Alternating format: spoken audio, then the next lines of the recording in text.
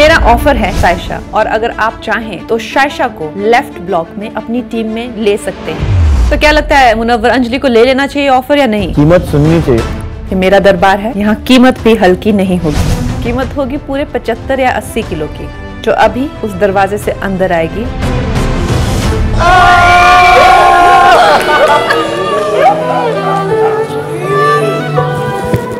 अभी तक आप दोनों गेम में शामिल हुए नहीं है। डिसीज़न अंजलि के हाथ में है।